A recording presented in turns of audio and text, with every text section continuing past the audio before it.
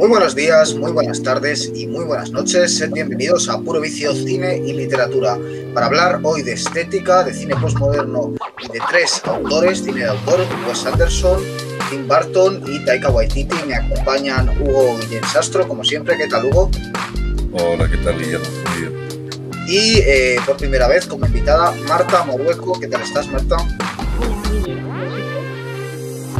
Marta es eh, graduada en Historia del Arte y además es una cinéfila empedernida, con lo cual hoy nos va a enseñar unas cuantas cosas sobre estética en el cine, sobre cultura popular y nos vamos a centrar en la obra de estos tres directores, un poco tratando de buscar cuáles son sus claves, las claves de su cine y cuáles son las características principales también del eh, cine postmoderno y de la estética pop.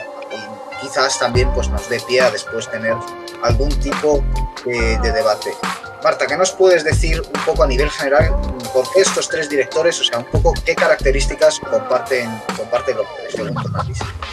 A ver, yo creo que principalmente o sea, la selección de estos tres directores creo que marcan una línea tecnológica muy buena de cómo ha ido evolucionando y cuál es el papel que tiene la estética en, el cine. Eh, estábamos hablando de eh, no cine como de, de alta cultura, eh, son películas que aparte de ser muy taquilleras y que en cines y demás, no, no tienen una, una narración, una narración mensajes especialmente reflexivos, o por lo menos esa es su, su. Y me parece que precisamente es, la intención primera es eh, la estética. Y estamos hablando de, de, directores que son muy icónicos. Waititi es más, más actual y tiene ahí como una línea que espero que podamos discutir más adelante sobre qué es lo que esperar de, él en el futuro y ver cómo va evolucionando. Y Barton y Wes Anderson tampoco creo que haya que explicar mucho más porque es, en sí mismo sabemos de la importancia que tienen para ellos en la estética, ¿no? A ti, Hugo, ¿qué, ¿qué, te parecen estos tres directores, así un poco a nivel global? ¿Y te surge algún tipo de comparación o, de rasgo común entre los tres? O... Eh, bueno, lo primero es que eh, los tres directores me parece que, que, al final son fruto de una época, de, de están muy ligados a la nostalgia contemporánea, tienen un, un, producto cultural que de algún modo se hace muy atractivo para, para cualquier espectador y creo que, que a pesar de en situaciones tratar temáticas serias como el fascismo, o la desestructuración, desestructuración familiar, eh, son autores que superponen su, su, componente estético, el tipo de conflicto que pueda estar tratando su, su argumento. Eh, esto eh, creo que es el, el, eje central para comprender esto y para comprender el, quizás el éxito que pueden llegar a tener autores de, de, de este, pertenecientes a esta estética. Y, y luego eh, ¿Cuál era la segunda pregunta, Guillermo? Sí, que si encontrabas algún tipo de rasgo común entre los tres o alguna característica que compartieran. Si la sí, bueno, pues un poco, un poco lo dicho, creo que es este, este principio. Hmm. Y a nivel, antes de entrar un poco más a seguir con este análisis, a nivel personal, eh, ¿cuál de los tres directores os interesa más y por qué? Marta, Yo si quieres. Yo me quedo con Taika, más que nada porque me pareció súper fresco y, y, las, pocas las pocas cosas que tiene por ahora me han parecido súper interesantes. Y no sé, para mí es uno de los mejores directores que he descubierto en los, en los últimos tiempos. Mejores para mi gusto y no sé, me parece que se adapta muy bien a lo que es la, el cine actual. ¿Hugo? A mí personalmente el que más me interesa es Wes Anderson por quizás la influencia que tiene su cine y, y, porque me parece que es el que tiene una, una estética más compacta y, y, unitaria, ¿no? Que, que, también la comparte en todas sus películas de una forma bastante eh, rigurosa. Bueno, pues si os parece, eh, vamos a ir haciendo, desgranando un poco el cine de los tres y a ver si luego nos da tiempo a un pequeño debate en el que se podamos añadir cosas. Eh, ¿Qué os parece si empezamos hablando, primero, de que estamos hablando de estética? Por si alguien nos está viendo y no sabe qué es la estética, no vamos a definir la estética, desde luego es un trabajo arduo, pero sí vamos a, tratar de explicar un poco cuáles son los rasgos estéticos de estos tres directores. Y como es muy genérico, os dejo que tiréis por donde queráis, pero eh, a nivel de colores, de planos, de eh, formas de contar una historia, de vestuario, de forma de caracterizar a los personajes, ¿qué podemos comentar de estos tres directores? Y también un poco en contraste quizás con eso que hablaba Hugo del fascismo, ¿no? Esa, ¿Cuál sería un poco también la intención política, si es que la hay detrás de ese tipo de caracterización? o hasta qué punto eso puede resultar provocador entre una estética más clásica, eh, siendo también yo creo que en buena medida, por lo menos Wes Anderson, un director hasta cierto punto neoclásico o que refunde lo clásico. ¿Qué podemos comentar de esos rasgos de color, de eh, tacto, de, etcétera? Bueno, bueno sobre todo, eh, más que hablar del como fascismo, yo creo que eh, habría que hablar de lo que es la, importancia o el peso de la autoridad, de una autoridad ya sea moral o mm, política, en sus películas, que no, tiene, no normalmente no responde a una ideología concreta, pero sí que trabaja mucho como desde eh, muy dual desde el bien y del mal. Y eh, esa dualidad se refleja muy clara en la estética, porque siempre trabaja, normalmente, dos, dos paletas de colores. Una que tira por los blancos, negros, grises que es la, que representaría normalmente eh, el mundo al que está criticando, por así decirlo, y luego una paleta que tira más por, colores que sean muy brillantes o por colores más pasteles, más vivos, más rositas y demás. Y, la, y ese es como el mundo ya puede ser onírico, eh, la diferencia entre la vida y la muerte, o simplemente el mundo en el que él quiere trabajar, ¿no? Y en esto eh, importante también el tema de, la arquitectura, de, de, lo que es la, arquitectura de las propias películas, las líneas, lo vertical en contraposición al horizontal. En lo que comentábamos de, por ejemplo, en Charlie, la fábrica de chocolate, el mundo gris en el que vive su familia, que aparte de ser una casa pequeña, que se ve que, eh, tiene pero que luego sí que tiene dos plantas y que son como muy angulosas, pero el interior es todo muy plano y eso lo podemos ver los cuatro abuelos siempre tumbados y, luego en contraposición a lo colosal, lo brillante, lo colorido de, la propia fábrica, ¿no? Por ejemplo. Hmm. Y además es que yo creo que en las películas de los tres, por ejemplo, hay una figura que es eh, algún tipo de figura masculina amenazante. Es decir, yo creo que en el cine de los tres siempre hay un villano.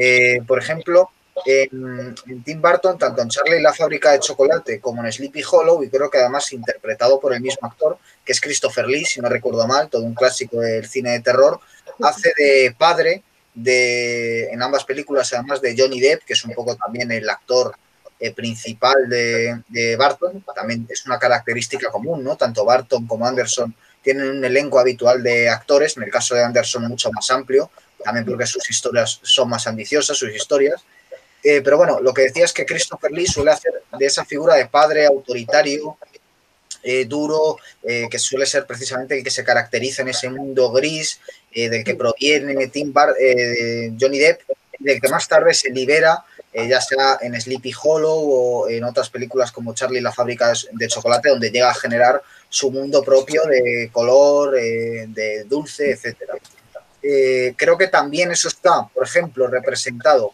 en Wes Anderson, quizás no de forma tan directa, pero sí que siempre suele haber un villano, eh, que también pasa, digamos, por el filtro de su propia estética. Estoy pensando, por ejemplo, en William Defoe en el Gran Hotel Budapest, como lo caracteriza casi como una especie de, punk, con chupa de cuero, el pelo de punta, el puño, el puño de hierro, las botas, ¿no? Eh, en fin, que le gusta caracterizar siempre también al villano de forma particular. E incluso Waititi, en este caso, eh, yo solo he visto Jojo Rabbit, pero él interpretando a un Hitler que bebe mucho de Chaplin, ¿no? Y del gran dictador, en la película de 1940, él mismo interpretaría ese, ese personaje.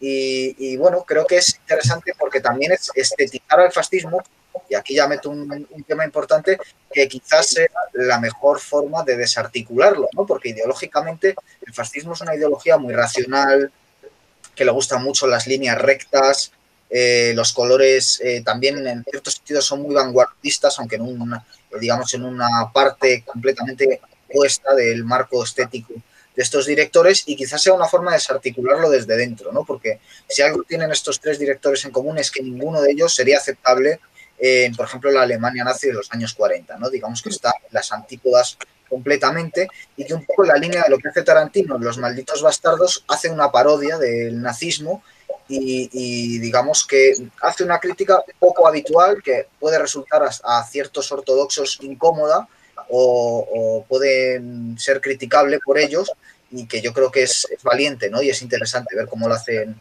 estos tres directores. No sé si esto os sugiere algo. Sí, yo creo que, que, la intencionalidad también de estetizar figuras de autoridad en relación, por ejemplo, al fascismo, eh, podría ser de, generar un absurdo en, su figura, en su relevancia eh, contemporánea, ¿no? De, está claro que a lo mejor pues una película como El Gran Hotel Budapest o Malditos Bastardos en los años 60 no hubiese podido tener la acogida que llega a tener ahora, que es un tema que se ha tratado mucho a través de, la tradición literaria, cinematográfica y artística en general de Occidente, pero que eh, ha llegado a ser eh, casi un componente tan fuerte de nuestro imaginario que, estos autores se permiten la licencia de, llevarlo hasta el absurdo, ¿no? Se me ocurre también, por ejemplo, eh, eh, una, analogía con Warhol y su, retrato de Mao, ¿no? Que al final es ese Mao eh, en colorines reproducidos hasta el infinito, ¿no? Y, sí que le puedo encontrar a lo mejor ese punto de unión para, para desprestigiar esa autoridad y para reducirlo a un, a un nivel absurdo. Sí, son villanos además como muy grises. De hecho, en Wes Anderson no, es tan fácil identificar cuál es el, el malo eh, como tal, porque por ejemplo en la, en la familia Tenema yo daría por hecho que el villano por así decirlo, sería el, padre, ¿no? Y, la, y verdaderamente lo que hace es, eh, ya ni siquiera a nivel de cómo les viste y demás, que también, sino que luego te das cuenta de que sus motivaciones son completamente absurdas, que son la, una paranoia que se ha montado él mismo sobre por qué su familia no le quiere, por qué tengo que ocultarle cosas y demás. Entonces yo creo que la manera en la que desarticulan y, y en la que como que aligeran un poco eh, ese, ese contenido por así decirlo, como más de, esta autoridad malvada, es a través de eso, de, mm, de darles como unos argumentos completamente absurdos, que lo, tú los ves desde fuera y dices, ¿cómo puede ser que esto sea el, problema? ¿no? Igual que como una especie de comedia de enredo, que estás todo el rato pensando, si es que se habría solucionado hace un segundo, si no te montado esta peli, ¿no? Igual que pasa con las motivaciones de, Mm, de Taika Waititi en Jojo Rabbit, el personaje de Hitler, verdaderamente no hace ningún tipo de apología. Esto de rato, quiéreme, cree en mí, cree en mí, que son como cosas bastante absurdas vistas desde fuera. Hmm. Y antes eh, mencionabais fuera de cámara el tema de la cultura popular, ¿no? Tú ahora has mencionado a Andy Warhol, que es un poco uno de los grandes iconos de la cultura pop, eh, y que también comentamos fuera de cámara que puede llegar a tener cierta similitud incluso con Wes Anderson, como, ya ellos como personaje. Eh, yo creo que se produce algo también muy curioso. El otro día nos comentaba una espectadora en el comentario de nuestro anterior vídeo eh, sobre esa relación con el videoclip, ¿no? Yo creo que esa relación del cine con el videoclip, del cine con la publicidad, que también muchas veces está denostada precisamente desde los altos círculos intelectuales, ¿no? Eh, y directores como Baz Luhrmann o películas como Pleasantville, que yo creo que también puede ir un poquito en este sentido y también tiene esos contrastes entre blanco y negro y color, eh, bebe, este cine bebe, yo creo, de esa estética de videoclip, desde esa estética publicitaria, y, en ese sentido también eh, lo que hace es eh, oponer esa estética pop, popular, a la estética culta, clásica, de la alta cultura, etcétera. ¿qué, podría, ¿Qué veis vosotros de estos elementos, de su relación con la cultura popular? También antes hablabais de canciones, de otras películas. ¿Qué relación tendrían estos tres directores con la cultura popular?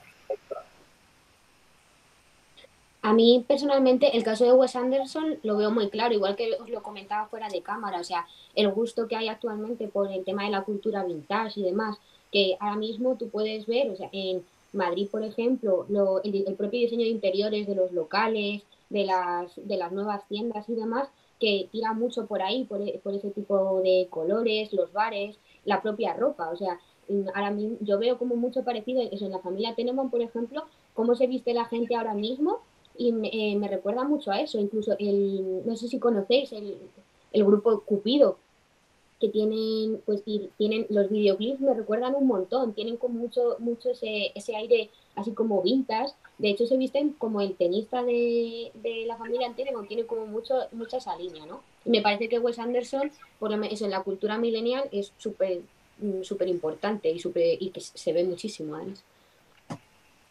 Sí, está claro que, dentro de la música además vemos como estos movimientos siempre van un poco por delante, yo creo, ¿no? Por, por la facilidad que, que, permite a los autores de crear un contenido mucho más rápido y, y, bueno, y porque las influencias yo creo que siempre llegan antes en el mundo musical que en el mundo cinematográfico que requiere de un tiempo y un trabajo mucho más prolongado. Eh, pero ya comentabas lo de Cupido, de la misma manera también eh, eh, cantantes, artistas españoles como Chen es gente que está adoptando mucho esta estética de, lo, vintage, de lo camp, así un poco como de, integrar todos estos elementos que, al final y al cabo están relacionados un poco con la nostalgia y con, y con tratar la realidad desde una perspectiva desnaturalizada, en cierto sentido, creo, ¿no?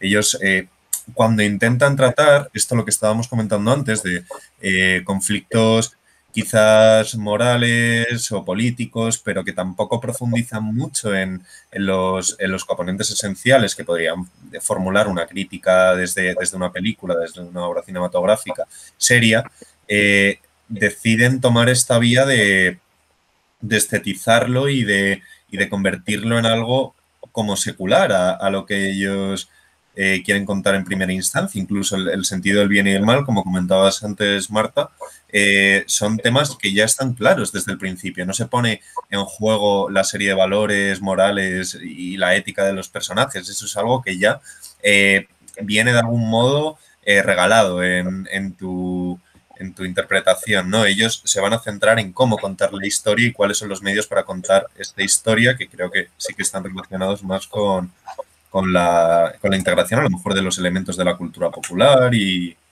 el pop. Yo, de hecho, la cultura popular la, definiría como el momento en que lo que Freud llamaba el malestar de la cultura, allá por los años 30, entra en los años 50 en contacto con la cultura eh, de las masas, dirigida a la nueva clase media incipiente de la sociedad norteamericana después de la Segunda Guerra Mundial y con un cierto poder eh, adquisitivo y como eso luego tiene sus manifestaciones en la música, en la publicidad ¿no? y en otra serie de, artes. ¿no? Eh, yo creo que después de estos años 50, que es donde se va formando esa clase media norteamericana, donde esto realmente estalla en los 60, ¿no? precisamente a través de personajes como Andy Warhol, y eh, nosotros sí que es cierto que ya lo, percibimos desde un punto postmoderno, eh, donde eh, el propio, la propia subversión mm, a través del capitalismo ya se ha convertido en objeto de venta. Y para esto pongo un caso, que es por ejemplo la máscara de V de Vendetta, eh, que es del Comité Amour, luego hicieron la película, etcétera, que era un objeto de subversivo, de Anonymous, se ha convertido en algo que encuentras en tiendas, ¿no? En grandes tiendas se puede comprar. Yo he tenido colgada una muchos años en, la habitación, en mi habitación, ¿no? Es decir, que es algo que se puede comprar y que el capitalismo lo destruye así, ¿no? Es como la, eh, cuántos millones eh, habrá ganado la persona que puso la cara del Che Guevara en una camiseta, ¿no? Por ejemplo. Eh, ¿Cómo? Pues sabrá, se, habrá, forrado, ¿no?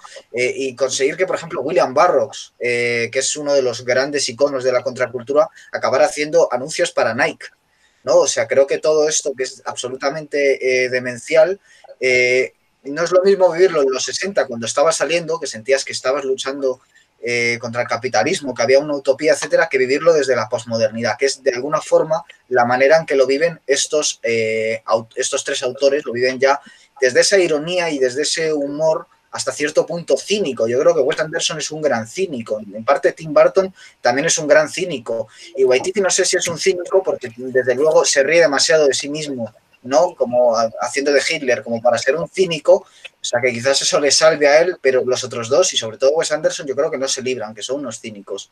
Y en ese sentido, eh, y aquí os lanzo la pregunta, creo que habría que introducirlo, algo que antes habéis comentado fuera de cámara, que es el tema de los kits. Es decir, cómo ellos, la forma que tienen de afrontar esta posición histórica, podríamos decir, ante, eh, bueno, seguimos, el capitalismo está más fuerte que nunca, seguimos queriendo subvertirlo a través de la cultura popular, pero eh, ya no podemos hacerlo con esa ingenuidad de los años 60, sino que tenemos que hacerlo a través de la ironía de la modernidad.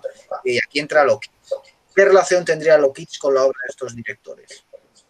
A mí, sobre todo, partiendo de la premisa más de que verdaderamente el cine eh, por mucho, y sobre todo hablando de, las películas de estos directores, es uno de, los, grandes problemas que ha tenido siempre el cine, ¿no? De cómo generar eh, luchas, bueno, y discursos que sean anticapitalistas cuando eh, tu propio medio es un medio que está basado en eso, ¿no? porque al final el cine siempre el problema que, bueno, no es un problema, sino lo, que, al final es un medio de, de masas, ¿no? y es una industria, por así decirlo, y nace como, nace como eso, no, no nace como de una perspectiva mínima. Ya después con el tema del cine de autor, el, cine indie, independiente y demás, pues sí que tiene como otra variante, pero en este caso es eso, cómo luchas y a partir de, de que tu propio medio es una de las expresiones máximas del capitalismo, ¿no? Y creo que eh, lo hacen precisamente con lo que comentábamos, de, a partir de, la broma. Y, la estética aquí a mí es una, es, creo que permite directamente la broma, porque al final, con el tema de los colores, las formas, de introducir elementos que te son extraños, una, una chaqueta hortera, un, y demás, son, es, lo, que me, lo que creo que podría ser como representativo, ¿no? Y en el caso de Wes Anderson, por ejemplo, el tema de, de los objetos que mete, lo que comentábamos, que son como escenas con colores muy saturados y a veces muy llenas de cosas, pero siempre dentro de un ángulo contenido, ¿no? Y hay veces que los propios objetos, ya sean las lámparas, las lámparas de Wes Anderson son muy interesantes, además son todas como muy, muy intensas. Y, y como al final te llena una habitación de cosas, pero que tiene como un cierto orden, ¿no? Igual que eh, Tim Burton para mí lo hace completamente al revés, como de no de, no de fuera hacia adentro, sino de sobrepasar esos ángulos, ¿no? y llenártelo todo de, de, cosas de color y tal, que para mí son como dos visiones completamente diferentes de lo, de lo ostentoso, de lo quinto, así como casi barroco también, ¿no?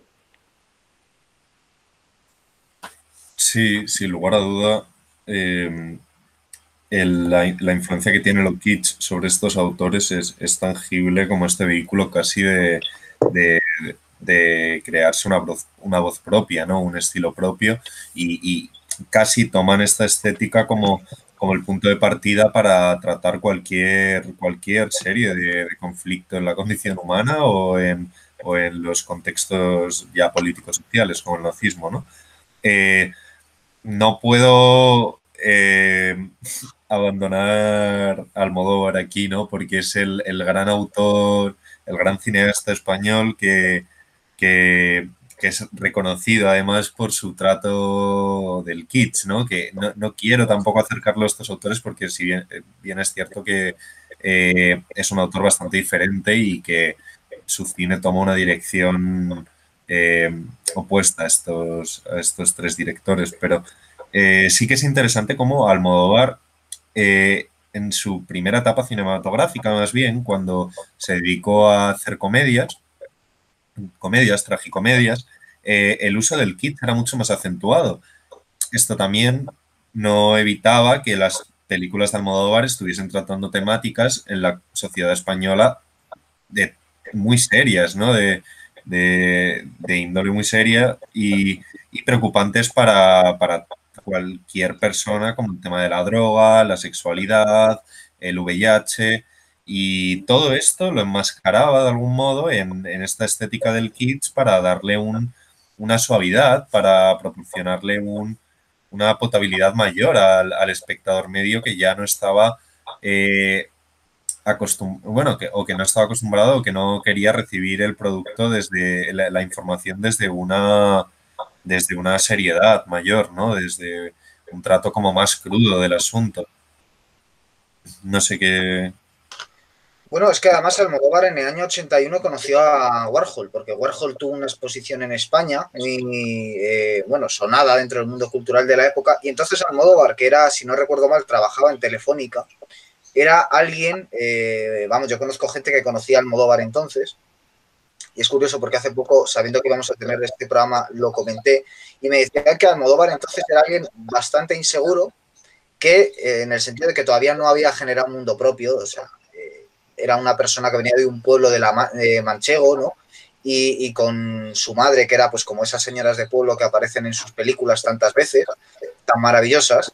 Y digamos que él estaba deseando absorber algo nuevo, ¿no? Algo rompedor, ya pues, solo por su propia homosexualidad en ese ambiente eh, franquista, por ese país gris, etcétera. Digamos que yo creo que el cine primero de Almodóvar lo que es es un atentado contra ese cine gris del franquismo, ¿no? que yo tampoco es que denoste, pero que es verdad que es muy limitado y lo que hace él es ensanchar muchísimo ese tipo de cine con películas como Pepe y Lucy Boom y otras chicas del montón. Y eh, yo creo que hay la influencia de todo el arte experimental, entre ellos la cultura pop y entre ellos el pop art y entre ellos Andy Warhol, al que admiraba. Y, que hay gente que dice que Almodóvar es el Andy Warhol español, ¿no? que él mismo diga que no es así, eh, porque no tiene nada que ver. Y yo creo que, que has, acertado eh, de pleno. No sé a ti, Almodóvar, Marta, ¿qué te, qué te parece en todo esto? A ver, Almodóvar yo creo que es eh, un señor que hay que estudiarle a él solo, porque me parece que es, es rompedor y en el contexto de, de, la España de la transición, que es cuando él empieza a trabajar y demás, eh, es, es, importante, pero a mí lo que, lo que hace que se me desligue un poco de, de, este tipo de, de, la estética en la que estamos hablando, ¿no? Es el, el, tema de que verdaderamente él sí que quería contar algo activamente. Este, el último Almodóvar, eh, el Almodóvar de, de los 2000, no es, no es tan así, pero en su momento sí que tenía como un papel mucho más activo, ¿no? También es verdad que él es muy lo que fue la, movida madrileña. Ya, es, eh, ya, ni, ya ni siquiera a nivel de estética, sino cuáles eran los intereses. De, no era una, un papel como tan eh, políticamente activo y tan reivindicativo como tal, pero sí simplemente de exposición, ¿no? Porque, y parece que quedas como mucho más, mm, eh, mucho más rompedor porque lo que estás haciendo es eh, exponer simplemente cosas que no se habían expuesto. A lo mejor no tienes un afán crítico, ¿no? Pero simplemente por decir, oye, esto existe, esto está aquí, pues ya es subversivo, verdaderamente. Sí, de hecho, con respecto a lo que comentábamos antes, eh, tanto el estalinismo y el nazismo tienen algo en común que es el miedo tremendo a la risa, a la broma, ¿no? Yo creo que ahí está el acierto, por ejemplo, lo que hace Waititi con Jojo Rabbit. Yo tengo aquí esta novela de Milán Kundera, que se llama La broma, que es del año 1967, es su primera novela, eh, la última sexta, que es La fiesta de la insignificancia, y eh, digamos que en ambas está el tema de, el que padeció, era es checo, es en Francia, escribe en francés, eh, yo creo que deberían darle el premio Nobel, pero a lo que voy es a que eh, él sufrió en primera persona eh, el régimen estalinista, la primavera checa de Praga, sale por ejemplo en su novela más famosa, La insoportable levedad del ser, y en esa historia de la broma lo que cuenta es como un hombre accidentalmente hace una broma y eso le vale pues que le persiga el régimen ¿no? soviético. Y otra gente que ha tratado el tema, como por ejemplo Solzhenitsyn en Archipiélago Gulag o Slavoj Zizek, siempre hacen también mucho hincapié en toda la temática de las bromas, ¿no? En relación con, los regímenes totalitarios. Es una forma de desarmarlos que es mucho más incómoda que escribir al final todo un tratado eh, político-moral sobre, sobre un régimen y cuáles son sus errores y demás. Al final eh, es mucho más poderoso el hacer una broma, una ironía, porque relativiza todos los valores de ese y todos los horrores de ese régimen y expone precisamente su insignificancia. Y digamos que esa sería también un poco la crítica que, por ejemplo, el que le hace más claramente es Taika Waititi. Ya decíamos, la hace Tarantino, yo creo que la ha hecho Almodóvar también, la ha hecho eh, sin duda alguna Wes Anderson o Tim Burton, pero quizás el que mejor lo haga de todos estos sea Taika Waititi, ¿no? Haciendo él mismo y un Hitler que al final puede parecer una caricatura estúpida, pero que yo creo que tiene bastante más profundidad, a lo mejor psicológica, de la que puede tener un retrato realista, como el que vemos en El hundimiento, que es una gran película sobre Hitler, pero que es un retrato realista y que, sin embargo, a través de esta caricatura entendemos todo lo ególatra que era, todo lo absurdo de su pensamiento, todo lo grotesco de que un pueblo entero votara a este señor y, juntos hicieran esa serie de tropelías. Y realmente esa forma de exponerlo de Waititi, es, en mi opinión, es brillante. No, no sé qué, qué opináis de todo esto vosotros, ¿no? de esta forma de ironizar al totalitarismo. Quiero recoger que, como has enseñado el libro, hay, precisamente una película que es eh, de las más representativas de la nueva ola checa, que es precisamente La broma, de, que está dirigida por Jaromir Jaers, que es muy interesante. O sea, la nueva ola checa, de hecho, recoge también muy bien todo este tema que estamos hablando de, porque encima es, un movimiento que dura súper poquito, o sea, es de el momento entre mm, el régimen positivo y otro régimen es eh, una explosión que es cuando salen las margaritas, eh, la Valeria y su Semana de las Maravillas y demás, y precisamente hay una película de, la broma posible, posible que Y ya volviendo, me, me he quedado, no me acuerdo de la pregunta. Sí, era, era por el tema de la broma, ¿no? Eh, no sé, Hugo, a ti también, ¿qué te, qué te parece este? Eh, y si se te ocurren otros ejemplos. se me ocurría, sí, yo estaba pensando justo en, en una en una famosa cita de Wittgenstein que era algo así como, no, es literal, ¿no? Pero era algo así como que eh, los temas más serios en el lenguaje se tratan a través de la ironía, ¿no? De, la broma, de la sátira. Y, al fin y al cabo, eso significa a veces lo valioso que, es la ironización de la realidad para, para un pueblo que quizás está harto ya de, eh, mamarlo de manera natural, ¿no? De, recibir más hostias por, con todo el perdón de la palabra, pero eh, por parte de, sus artistas, de sus voces, ¿no? Eh, yo creo que al fin y al cabo todo esto también saca a relucir como el, maravilloso poder de, la banalización en parte de, muchos factores, pero que permiten llevar a cabo una crítica desde lo, desde lo absurdo, lo irónico. Incluso ya se me ocurren grandes autores, por, por hilarlo en este sentido, no en el tema principal de nuestra conversación, que es, estos tres autores, pero eh, ¿por qué tiene tanto éxito un autor como Woody Allen?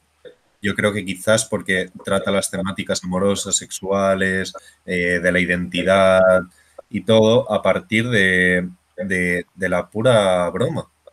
Son temáticas y conflictos muy serios que, que, todos sufrimos, pero él los trata desde una ironía, desde una broma, desde un tono satírico constante, que al final gusta mucho a la gente, porque no les eh, desliga de, de sus problemas, pero les permite relativizarlos y reírse de ellos.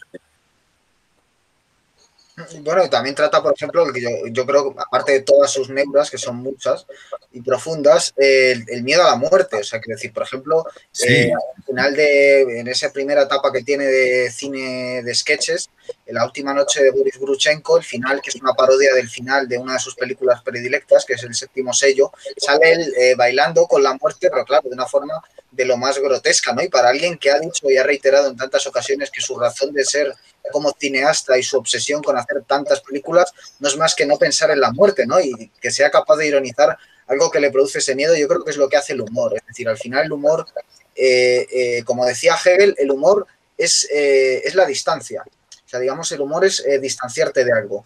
Y alguien que está constantemente haciendo ironías, véase un cínico, como Humphrey Bogart en Casablanca. ¿Qué es Humphrey Bogart en Casablanca?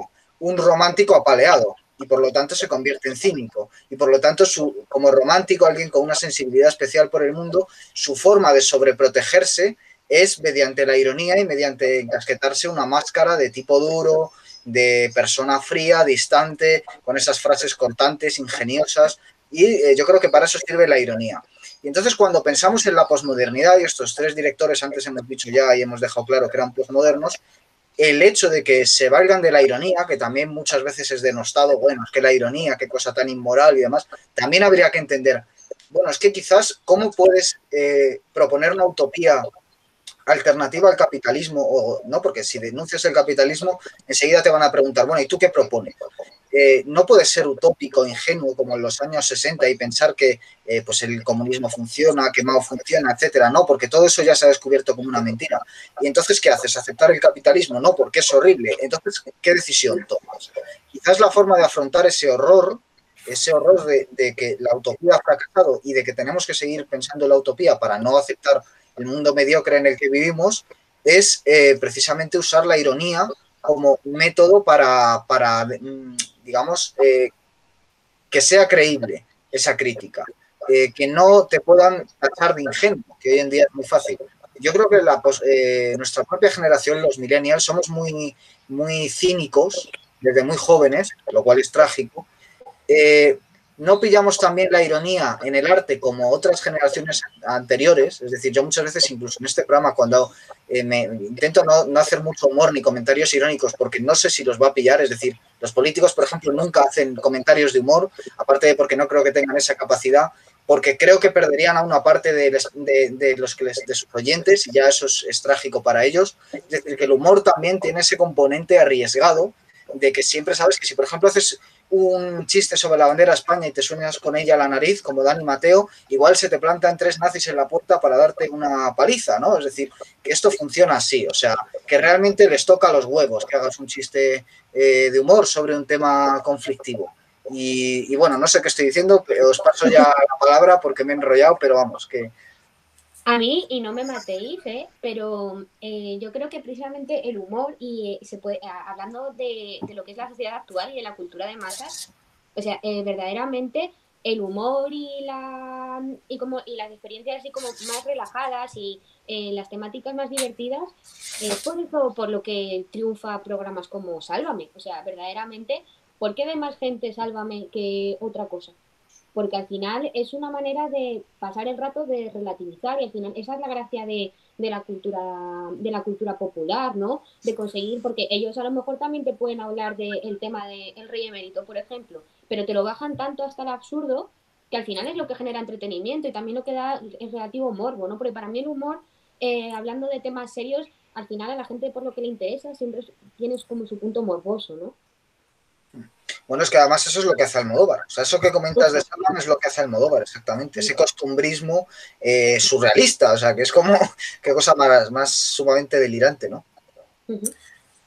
Bueno, de algún modo, claro, es que no podemos olvidar. Yo creo que el, que el humor sí que tiene un componente de posicionamiento ideológico muy fuerte en muchas ocasiones, ¿no? Estabas como, además, como ejemplo, has puesto a Dani Mateo sonándose los mocos con la bandera de España. a ver, o sea, eso da respuesta a conflictos sociales, pero desde luego que tiene un posicionamiento moral, un posicionamiento ideológico al respecto, ¿no? Y, y en muchas ocasiones, pues eh, incluso estos tres autores que estamos tratando no son, y, no son intrínsecamente eh, humorísticos, pero eh, sí que le dan peso a esta ironización y tienen un posicionamiento moral, claro, es el posicionamiento del de occidente cristiano, ¿no? Un poco de, de, pues los nazis fueron malos y pum, y pum, y pum, y cuatro temáticas más sobre eh, conflictos que, que, al fin y al cabo tienen una delimitación y una posición ideológica bastante clara, ¿no? De, eh, yo creo que, que, eso, que a lo mejor hay que abrir un poco el debate de si es una herramienta tan valiosa, la ironía, el, el, el humor, eh, hasta qué punto eso también se puede emplear desde las dinámicas del poder, ¿no? Desde,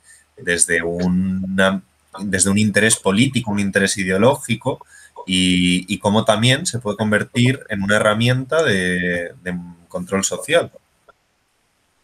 Sí, sí, además yo me lanzo una pregunta al aire que es ¿por qué solo hay humor de izquierda?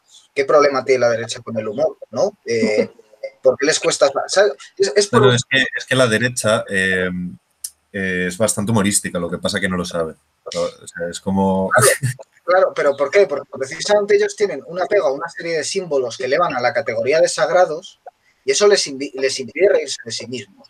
O sea, esta gente va con la bandera de España tan orgullosa y tal. Claro, la han elevado a un punto eh, de sacralidad que es que evidentemente no puedes, eh, evidentemente, visto desde fuera, como bien dices, es humorístico, pero para ellos es impensable hacer un chiste sobre eso. Y que venga alguien y lo haga, por cierto, en toda su libertad de expresión, ¿no? Avalado por toda su libertad de expresión, es como un escupitajo a la cara, ¿no? Eh, porque muestra lo eh, absurdo que es tomarse un trozo de tela, por muchas eh, implicaciones históricas que tenga y todo lo que quieras, de forma tan seria, ¿no? Que es un trozo de tela. Por avanzar un poco. Me lo voy a llevar de vuelta a Tim Burton, eso que comentáis, de sí. por qué la derecha no tiene humor.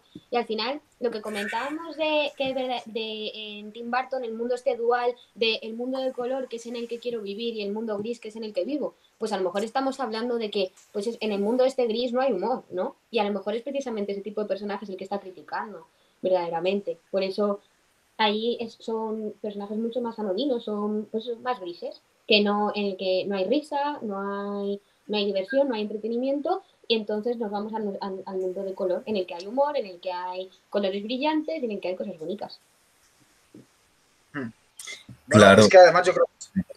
Sí, no, no, no, lo, respecto a lo que decías un poco, era, era un, únicamente un comentario de... Eh, yo creo que desde la derecha, claro que hay humores y desde hay, hay malas maneras para recibir el humor del otro sector ideológico, porque parece que además estamos planteándolo esto todo desde casi posturas políticas, ¿no? Desde, porque luego hay mucha gente también que considerada política no quiere eh, no tenga un componente ideológico fuerte, pero que no, no tampoco se sienten ofendidos por un humor eh, intrínsecamente político, ¿no? Pero eh, yo diría, por ejemplo, joder, en Estados Unidos eh, Donald Trump ha sido el presidente que más chistes hacía, sean de nuestro agrado no. Era, era un presidente que usaba el, mecanismo de la ironía y de la ridiculización eh, para lograr satisfacer a sus votantes.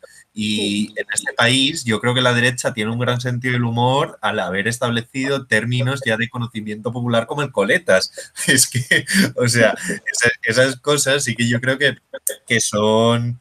Eh, que son componentes humorísticos muy fuertes, pero quizás tratados desde, desde otra visión. Es verdad que a ellos les ofende más cuando hablas de la bandera, pero porque también la derecha española es especial ¿no? en, estos términos. Quizás otras derechas europeas, mucho más abiertas al liberalismo económico y hacia, hacia la, el multinacionalismo y todo esto, eh, pues son diferentes. Tampoco sé por qué no trato directamente con el humor alemán, ¿no? Si es que existe, ¿no? Eh, pero lo que tiene que ser tiene que ser peligroso sonar, bueno, ya me lo dijo Hugo, pero tiene que ser peligroso sonarte la nariz con la bandera de Estados Unidos también, ¿eh? Allí yo creo que te lincha a izquierda, derecha, el que tú quieras. Claro, pero, es que ahí ya no está, no está tomado ni como desde una postura política ideológica, ¿no? Eso ya forma parte del imaginario colectivo estadounidense, el respeto por, por esta gran nación que es superior a las, a las dos ideologías, que al final causan lo mismo, pero cambiando un poquito el discurso, ¿sabes? O sea, por eso a lo mejor... Sea, la diferencia radical es que en este país ha habido una guerra civil, ¿no? Y, muy recientemente y, con unas posturas ideológicas bastante diferentes entre ambas. La guerra civil estadounidense, al fin y al cabo, yo creo que se ha quedado como eh, enterrada en el pasado, ¿no? Bueno, yo en ese tema no entro, que el asalto al Congreso tenía unas cuantas banderas confederadas, pero no voy a entrar ahí. Pues sí, sí, sí, es que Sí, bueno, yo claro, pensando en un sector de la población norteamericana, un poco así, el blanco votante, ¿no? Si nos vamos luego a los gilibilis de racistas confederados y a los negros que viven en Baltimore en un gueto, pues la diferencia es clara, ¿no? Eh, por volver un poco al, tema de las, de las películas, eh, yo sí que percibo que hay, para contar eh, esta dicotomía, esta mm, forma de plantear el mundo binaria, eh, hay todo un ensamblaje como cuento, digamos. Es decir, el más evidente, yo creo que en este sentido es Tim Burton. También está un poquito en Wes Anderson. Y yo creo que en Jojo Rabbit también hay un poco de eso, ¿no? De, cuento, de fábula. Eh, ya desde la propia música, ¿no? Eh, que era otro elemento que yo creo que deberíamos comentar. Tim Burton casi siempre o siempre ha trabajado con Danny Elfman. Wes Anderson como comentábamos antes, también fuera de cámara, toma canciones de la cultura popular, que también lo hace Taika Waititi en Jojo Rabbit, pero también tiene a su compositor desde hace unos años predilecto, que es Alexandre Desplat, ¿no? por ejemplo, con la excelente banda sonora de, del Gran Hotel Budapest, que tiene también ese puntito como de cuento, que precisamente tiene también pues, las bandas sonoras de Danny Elfman. Eh, ¿Qué relación tiene con la música todo este tema de estos cineastas de la cultura popular?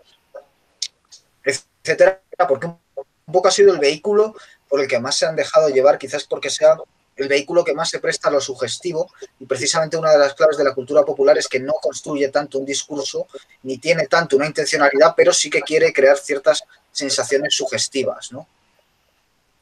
A, mí es que personalmente me parece que el cuento, o sea, la narración planteada como, como cuento siempre me ha parecido de las, de las maneras más útiles, ¿no? De llegar a, a la, vamos, al, espectador, al lector, a lo que sea, en cualquiera de sus formatos. Entonces creo que es precisamente la música y la estética las que favorecen este, este relato, ¿no? Que al final te tratan de hacer una cosa eh, más amena, algo que, que, seas capaz de, recordar en el, futuro y que te traiga como, que te como eh, conocedor de lo que está tratando, ¿no? Por eso yo creo que recurren a, música que sea como muy icónica, para que el espectador se sienta como dentro de esa trama, ¿no? Como parte de tal, que al final es lo que sucede mucho con los cuentos, ¿no? Y yo creo que es, la, mejor manera de, lograr, de lograr transmitir un mensaje, que al final esa es para cualquier tipo de público, ¿no?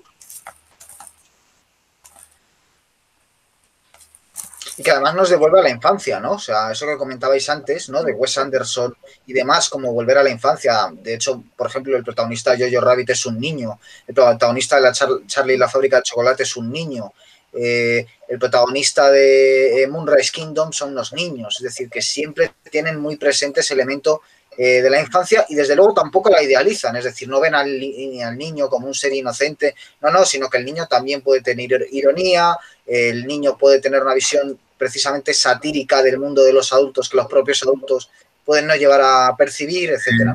parece, De hecho, de hecho, eso es muy interesante, ¿no? Porque en el cine de Anderson es, es cierto que se produce un, como un pacto espectador eh, y obra en el cual el, espectador ya se está politizando desde, desde un comienzo de la política, de la política, de la película, eh, para acceder a, este mundo de ficción, ¿no? Pero eh, a la vez te introducen como todas estas temáticas. Es, está claro que no es un cine para niños, ¿no? Pero tampoco es un cine para adultos como tal. Entonces, ¿qué ocurre aquí? Pues yo creo que este proceso de, de, aceptar la polarización a la que te somete toda esta estética cinematográfica. me, ha interesado mucho lo que has comentado sobre el, sobre los niños en las películas de Anderson. Y es que en ciertas ocasiones, y en películas como eh, Moonrise Kingdom, el, niño es casi más adulto que los adultos, ¿no? El niño tiene una visión más, más aguda sobre lo que está ocurriendo que el propio adulto. Y es él el que sufre problemas casi más adultos que, que, los, que los adultos representados y no es un niño en no es un niño como tal, ¿no? No es un niño de 7, 10 años que nosotros conocemos y que hemos sido todos, ¿no?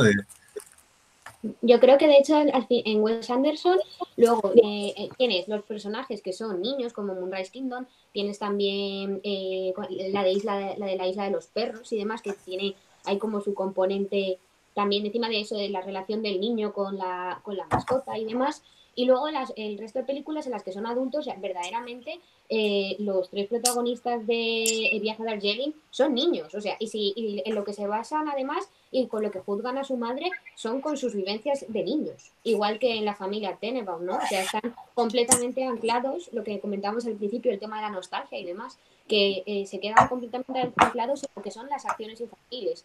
Tanto en, actúan en el presente con, con acciones infantiles, pero no de, las como los reproches también vienen desde la infancia, ¿no?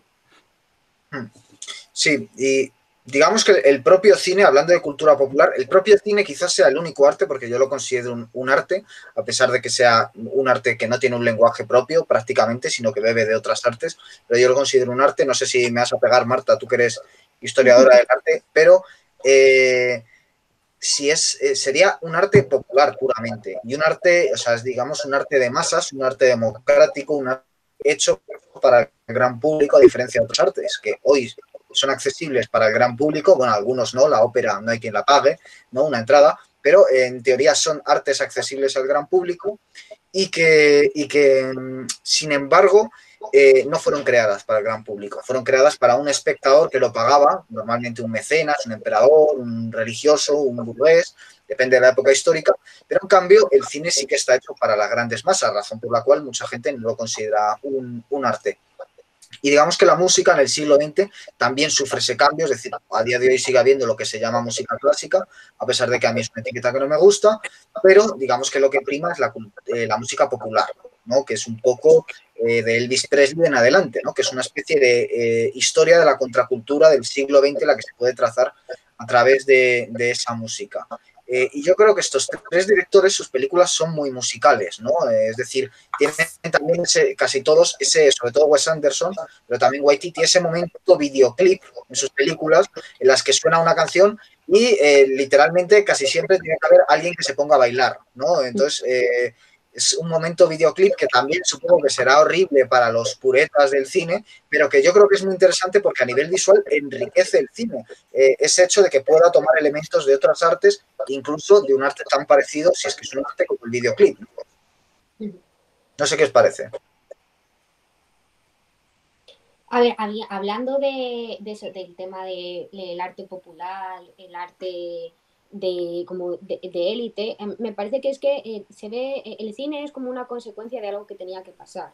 O sea, porque verdaderamente ahora mismo, por mucho que los cuadros del Museo del Prado estuviesen hechos para que lo viese el rey de turno o la corte, ahora dónde están, ¿no? Y ahora mismo es mucho más fácil entender eh, arte que sea el arte bueno ya ni siquiera arte contemporáneo porque hay arte contemporáneo que es muy complejo de entender o sea el arte el arte pop lo entiende todo el mundo no y al final, por mucho que el, el retrato de, del conde duque de Olivares de Velázquez estuviese hecho para, el, para ese, para ese eh, noble en cuestión, ahora está expuesto en el Prado. Y al final, eh, la gente que lo ve es la, es la misma. Y, entonces esos códigos pierden cierto sentido, ¿no? Entonces al final me parece que es una, es una consecuencia inevitable el tener que rebajar la, lo, lo, lo elitista de la cultura, ¿no? Y me parece que los tres lo hacen maravillosamente bien, además incluyendo el tema de la música, incluyendo eso, los colores saturados, las cosas llamativas, ¿no? Que, mm, que, al final lo que hacen es llamar la atención y son películas que a mí me parecen completamente shows, o sea, más que una narración como tal, son puro espectáculo de entretenimiento. Bueno, lo de que el cine sea una herramienta de, de un, bueno, que sea un arte tan dedicado a, al pueblo es una cosa que se conoce y, que se ha aprovechado mucho en la historia de en la historia reciente de la humanidad, ¿no? Como eh, los ah, eh, los nacionalsocialistas lo emplearon también desde esta perspectiva propagandística, ¿no? Mira, acabo de coger así un poco al vuelo eh, respecto a esto un libro que es uno quizás de los primeros ensayos, sería el Introducción a la filosofía de la praxis, que eh, analiza este fenómeno de cómo se da un giro de la alta cultura a, la cultura popular. Y dentro de, las teorías marxistas, él te está planteando cómo eh, no hay que denostar tampoco todos estos aparatos eh, ideológicos de la cultura de masas como una herramienta de lucha contra el poder, ¿no? Y, y voy a citar textualmente una cosa que había subrayado ya hace tiempo. La realización de un aparato hegemónico, en la medida en que crea un nuevo terreno ideológico, determina una reforma de las conciencias y de los modos de conocimiento. Es un hecho de conocimiento, un hecho filosófico. Y creo que aquí sí que vemos claramente cómo el cine es un aparato tan grande de reforma de las conciencias a nivel social, ¿no? Porque la diferencia con otras artes es que en un primer momento se han intencionado para gente que eh, conocía lo que estaba tratando, para gente que tenía el capital cultural para acceder a una, a una gran novela del siglo XIX, ¿no? Madame Bovary no era una novela que pudiese eh, ser consumida por cualquier tipo de público. Acá hace el cine, el cine te cuenta historias, integra todos estos elementos, los adorna a través de la música, de la imagen, de la, de la rapidez, del poco tiempo necesario, que por otro lado abriría una conversación muy interesante respecto a las... Eh, conductas laborales que ha tomado toda la sociedad capitalista, ¿no? Porque no tenemos tiempo para estar leyéndonos eh, novela tras novela, pero sí para ir a ver una película de una hora y media, una sala de cine, ¿no?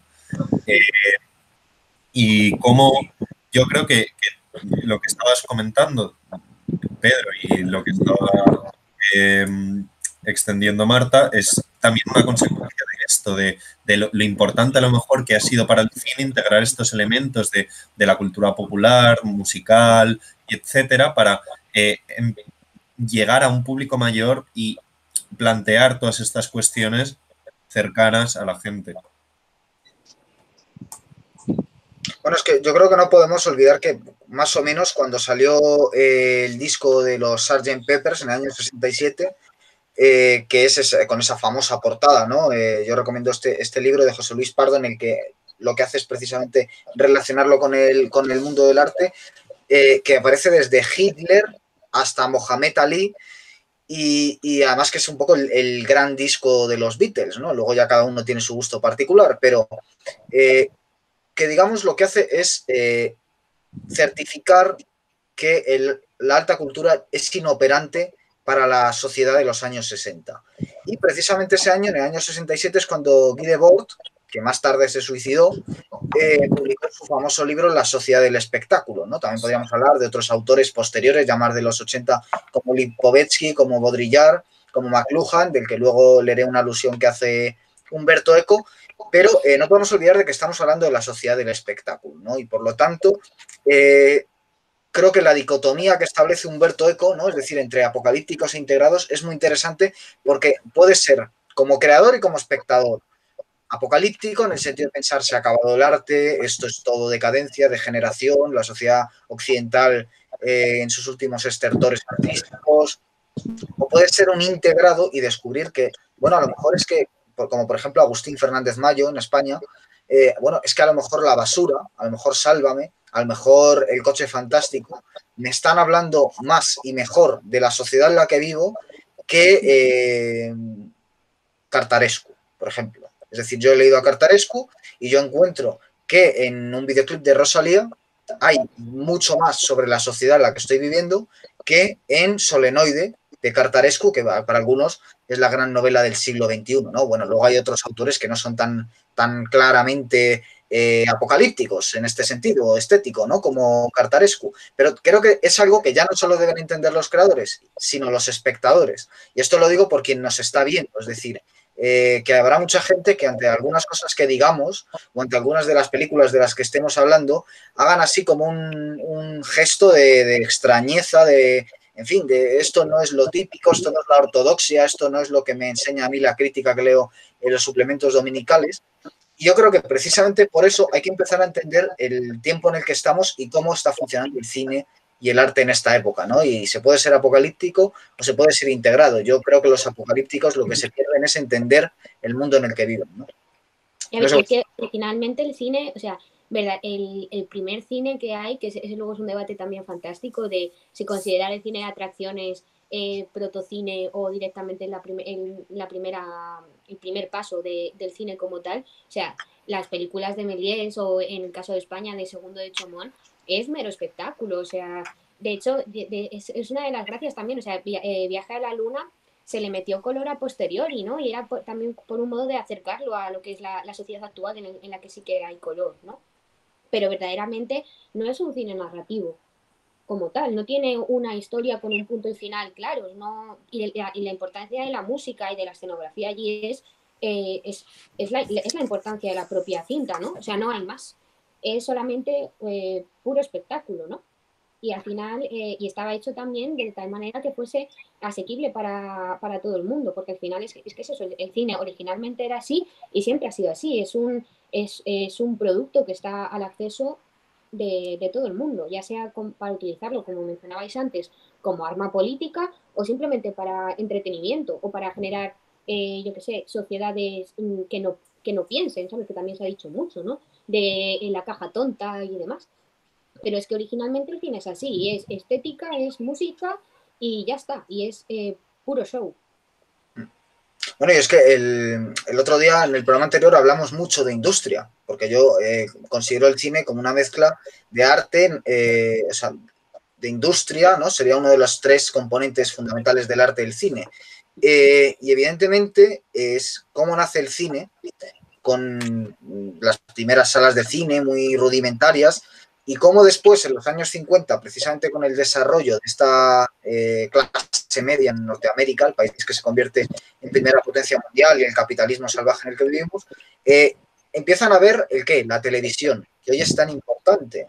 Eh, de hecho, hoy quizás sea lo que esté a punto de tomar ya el relevo del cine, ¿no? Cuando este virus parece que está a punto de cargarse ya definitivamente las salas del cine, no porque el virus se lo cargue, sino porque acelera un proceso que ya está ocurriendo de forma muy evidente. Entonces, ¿qué toma el relevo?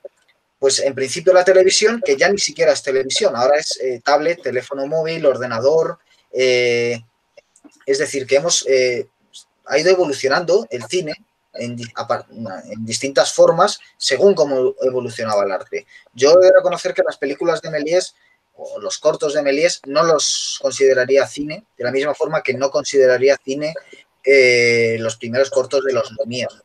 Uno en su carácter documental y otro en su carácter de teatrillo de salón, ¿no? Yo creo que son eh, cinematógrafos.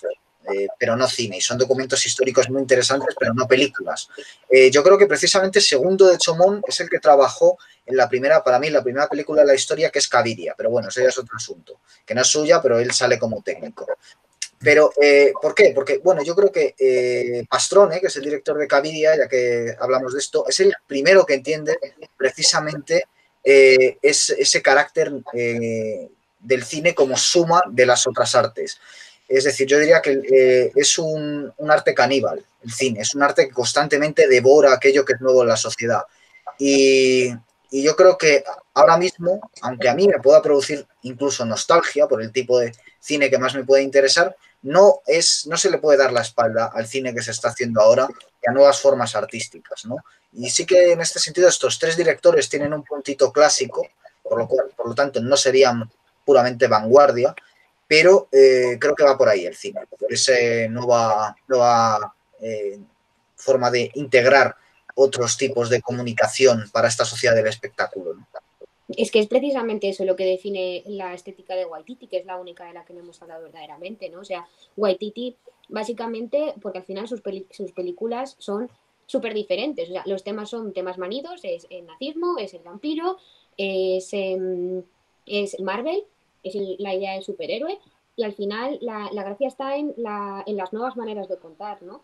Y en, y en cómo él mismo, porque es, lo que hablamos, de Barton y Wes Anderson sí que tienen como una estética muy definida, y, y Waititi para mí funciona al revés, que es recoge todo lo que, lo que funciona y, lo que es llamativo y, se lo, y se lo apropia, ¿no? Y yo creo que seguramente la siguiente película que haga eh, será completamente diferente a la anterior, ¿no? Y a mí eso también me parece que es un valor estético importante, el no, ya no, no quedar tan claro, sino el beber precisamente de, de la, información masiva y, la, y el contenido masivo que, podemos recoger a día de hoy y apropiarse de ello y generar fórmulas que sean interesantes y que sean eh, gustosas para el público.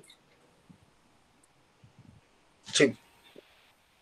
Bueno, por recuperar un poco lo que estabas comentando antes de, sobre la lectura de, apocalípticos integrados, de cómo eh, podemos diferenciar este, esta dualidad crítica entre aquellos que opinan que, el arte va a la deriva y aquellos que piensan que hay que intentar rescatar el valor que tienen todas estas nuevas corrientes estéticas. Eh, es interesante también mencionar otra, bueno, son unas conferencias transcritas de Puerto Eco, eh, eh, interpretación y sobreinterpretación, en las que ciertos eh, teóricos postestructuralistas y ya más cercanos a la deconstrucción intentan defender cualquier tipo de producto como artístico y cargado de un significado eh, ya sea político, ideológico, valioso. A lo que Humberto Eco también delimita un poco, diciendo, no podemos tampoco el pretender que cualquier tipo de producto artístico sea considerado como rico en valor, sino que hay, hay unas limitaciones en, en, cuanto a esto. Por eso yo creo que no hay que tomar ni una postura tan radical en ninguno de los dos casos como si el cine estuviese completamente abocado al fracaso, porque hay autores que a través de integrar estos elementos de la cultura popular pueden llegar a plantear posiciones estéticas muy interesantes, como es el caso de los autores que estamos tratando eh, en este coloquio. Y luego, eh, por otra parte, eh, sí que hay obras cinematográficas que están que han agotado completamente su, valor por, por, ser la réplica de la réplica de la réplica y, no tienen absolutamente nada más que aportar excepto un dato sociológico, en mi opinión. Como una estadística, casi. Bueno, es que la, cuestión, em, la cuestión del cine es muy amplia. Es decir, yo tampoco quise, quiero decir, tiene varios programas propios, ¿no? Hablar de qué es cine, qué no es cine, eh, hasta qué punto es un arte, hasta qué punto no lo es. Yo sí que creo que hay una sobreinterpretación, por supuesto que sí, eh, pero lo que sí que es cierto es que desde que Duchamp metió un urinal y lo llamó fuente en un museo, eh, hay una dificultad enorme para decir qué es arte y qué no.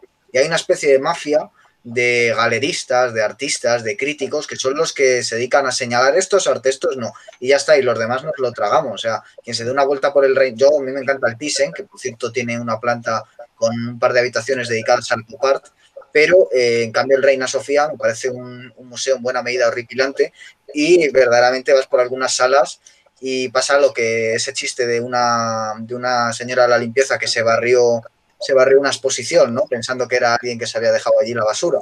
Y al día siguiente descubrieron que no, que era la joya de la exposición, eh, era ese montón de basura. Es decir, que hasta qué punto algo es arte o algo es no. Eh, pues bueno, en el momento en el que traspasa el umbral de un museo y un comisario te dice que es arte, te lo tienes que, te lo tienes que creer. Entonces sí que creo que el teórico, sin caer en el relativismo y sin caer en el dogmatismo, tiene la difícil tarea de argumentar en base a qué, definiendo un arte, qué es arte y qué no. Y eso es verdaderamente difícil porque el espectador no tiene por qué tener todos estos conocimientos teóricos, ni desde luego el tiempo como para preguntarse todas estas cosas. Al final va a consumir algo de arte en el poco tiempo libre que le dejan y eh, se enfrenta muchas veces ante estos eh, temas que tienen todo un background previo que no le han dado. Y, digamos que esa es la dificultad, yo creo, y el, problema de la cuestión en la que estamos. Hombre, yo creo que, incluso lo que estabas comentando, el ejemplo de la señora de la limpieza que barrió la obra de arte, reautoafirma, reafirma el, valor de, estas nuevas corrientes de pensamiento, ¿no? Que, que, puede darle como, pues si nosotros posicionamos esto en un museo, será arte. Esto no quiere decir que cualquier eh, cualquier eh, sector de la población público esté preparado para recibirlo, ¿no? Porque ya no es un arte que trate todas las temáticas humanas desde, desde el realismo, desde, desde unas poéticas del realismo, por así decirlo, sino que eh, es más bien una intencionalidad de eh, centrar el arte en sí mismo y en su propia estética, ¿no? Y, dotarle de, una de una autonomía propia, ¿no? De, de invertir este concepto de que el arte representa, sino que el arte se representa a sí mismo. Y, bueno, eh, si quieres, eh, podemos seguir debatiendo de esto. Eh, pues no sé si queréis ir cerrando, ahora que ya nos acercamos peligrosamente a la hora o incluso la hemos sobrepasado, cerrando el tema de las películas, que yo creo que nos hemos ido por los cerros de Úbeda, eh, y por ir cerrando un poco el tema de las películas, que no se quede nada fuera, que os dé mucha pena que se quede fuera. ¿Qué podemos añadir las películas? Antes, Marta, has intentado volver sobre el tema de Waititi, ¿no? Eh, de Marton y de Anderson, que es verdad que los hemos tratado un poco más, también porque son los que tienen más filmografía. ¿Qué puedes añadir de ellos? De, de, de, de Waititi, dices. O de. Anderson, de Barton, de cualquiera. A ver, yo creo que más o menos em, al final el debate este que hemos generado ahora, que es más, más amplio y demás, es, un, es una cosa que se puede ver en, sus películas, ¿no? Al final, es que luego son todas muy variadas. Es verdad que Wes Anderson sí, sí que sigue una línea más concreta, pero yo el cine de Barton sí que lo veo bastante caótico, tanto en, a nivel formal como a nivel de, la, de las tramas que aborda. Entonces, es muy sorprendente. O sea, es igual que Waititi puede hacerte dentro de dos meses una película sobre, yo qué sé, sobre el asalto al Congreso. Eh, te Barton también le veo en esa línea, ¿no? Como mucho más, mucho más amplio. Wes Anderson le veo más cerrado tanto en estética como en, como en discurso, ¿no? Que es igual, igualmente válido, pero le veo como un, un director más lineal, quizás yo creo que en esa película sobre el Congreso, Waititi haría del hombre vestido de, bisonte, ¿no? O sea. Sí, pero se pondría purpurina en el pecho. sí, se cogería ese papel. Eh, bueno, entonces no sé si podemos añadir alguna cosa más. Os preguntaría, si no, os preguntaría con qué película os quedáis de cada uno. Yo de Waititi lo tengo fácil porque solo he visto una, pero ¿con qué película y por qué, evidentemente, de cada uno de los tres? de Waititi una cosa que nos hemos dejado fuera es el tema de, lo de, de, la de lo que hacemos en las sombras. O sea, es porque encima esa película es tanto, es una especie de como de mock documentary y tiene muchísima influencia de Nosferatu, además se ve clarísimo, el, vampiro antiguo, el más viejo de todos y demás, y cada uno pertenece como a una época diferente, y es volver un poco sobre la nostalgia. A mí me parece maravilloso, me parece una película súper completa. La actuación que han hecho ahora a serie no, no la he visto, pero supongo que seguirá más o menos la misma línea. Y es una película que nos hemos dejado fuera y que, por ejemplo, hablando de, de lo que es el, que lo comentábamos alguna vez, ¿no? De, de, lo que es el prototipo del vampiro y demás, sería muy interesante volverla a sacar. Y, mm, pero yo de, de Waititi es que me, la Ragnarok me parece maravillosa. Mira que la industria Marvel y demás no es santo de mi devoción, pero es que me parece una, una película que es muy diferente a, a lo que es esa, esa saga, ¿no? Y me parece muy, muy interesante lo que ha sido capaz de hacer con, unos, con una, una, una, narración que ya está hecha tanto por las películas anteriores, por encima al final es una tercera parte de, de, la, de la, trama de Thor y, y, también encima es sobre tanto sobre las películas anteriores como sobre los cómics, ¿no? Y el cómo es capaz de, de llevárselo y de hacer actores verdaderamente serios, eh, porque sale, me saldrá su nombre, Kate Blanchett, y es que era completamente fuera del prototipo de personaje que, que ella normalmente realiza, ¿no? Y esa gracia con el que, y esa atmósfera que genera tanto en actores que tienen como cierto perfil, como en historias que ya tienen una narrativa más o menos creada y él se la lleva por otro lado completamente, me parece muy interesante. Bueno, lo del vampiro es que es curioso, es verdad que lo habíamos comentado y sin duda tiene todo un programa, porque bueno, el vampiro al final es una, es una figura que está en todas las culturas, ¿no? Y que un poco simboliza lo inconsciente, lo animal, eh, lo oscuro, ¿no? De, de, las personas. Y la autoridad que comentábamos antes también. La autoridad, es verdad. Y además ha sufrido una, toda una transición, ¿no? Porque es decir que Nosferatu es un monstruo y Drácula de Bram Stoker es una figura romántica, entrevista con el vampiro, etcétera, eh, ya por no hablar de Crepúsculo, ¿no? que pueden ir al, al, instituto a lo largo del día, etcétera, pero que ha sufrido toda una, una, transformación.